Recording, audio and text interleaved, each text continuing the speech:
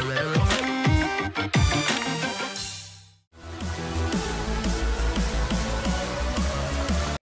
everybody and welcome again to Z-Code Sports System. Here we developed automated systems to help you win big every single time. Doesn't matter what sport you're betting on, we've got you covered. Before we get into some NHL action for March the 20th, I want to invite you to join so you will have access to this VIP club section which has all the great tools to help you make your picks. Okay, so let's get down to some business here as the NHL season is reaching the final stages and teams are still battling for the playoffs. So the first game we want to look at is Florida and Detroit. Florida comes in average, coming off of a loss in overtime to Winnipeg, and they are 4 2 over their last six, while Detroit is ice cold down. They are 3 and 3 over their last six. On the power ranks indicator, you can see that Florida is at plus 11. They're on a downward trend. They were at 18, while Detroit has climbed a little bit to, from plus 5 to plus 8 over the last few days. The score predictor has Detroit by a three to two score with 56% level of confidence in the prediction. If you look at the over and under, you can see that in the last two games, Florida has been involved in games over, but the previous four under. And Detroit has been involved in games over the line four out of the last six.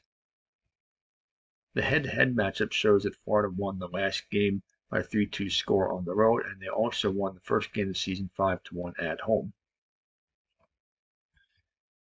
Take a look at the stability factor. How well are they playing? And according to their favored underdog status, you can see both teams are pretty stable at plus 14 to plus 12. Although they're up and down lately. Look at Detroit.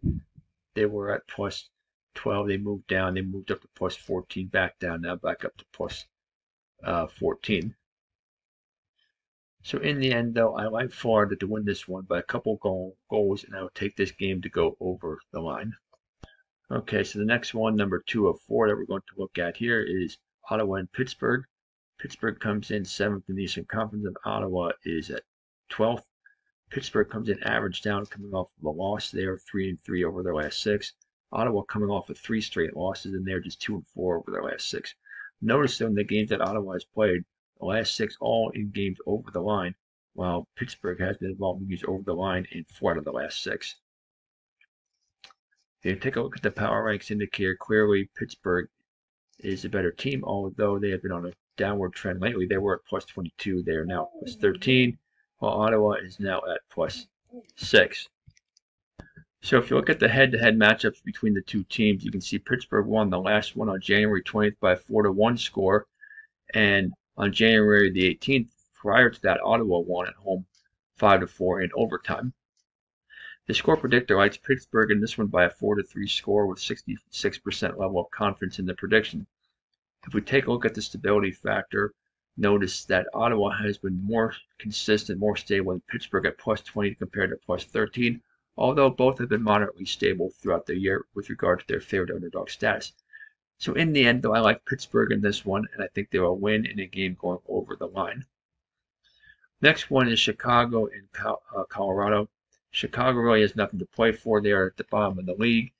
Um, I coming a nice cold up, coming off of a win, two and four over the last six. While Colorado is in the middle of the playoff hunt, they are burning hot at the moment and winners of their last three and four out of their last six.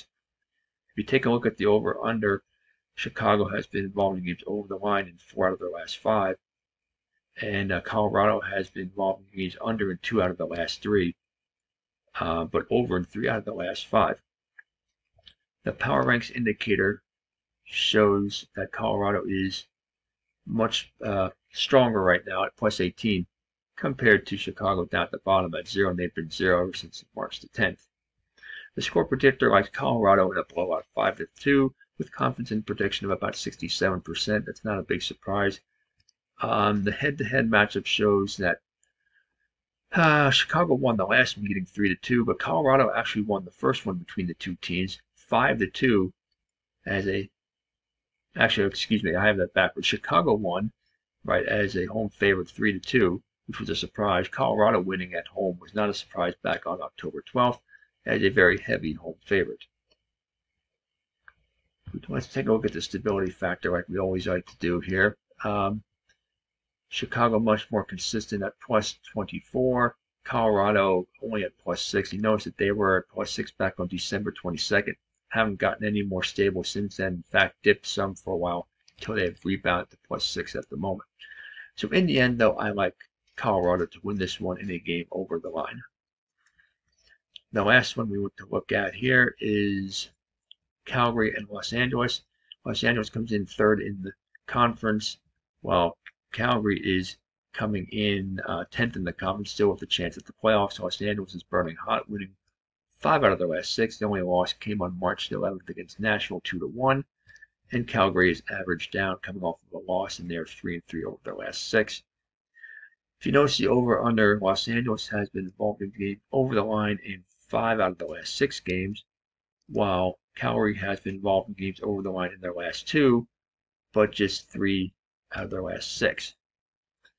On the power ranks indicator, Los Angeles is near the top of the league at plus 29, while Calgary has been up and down. They dipped to plus 10 as of March 12th, and they have rebounded to plus 15.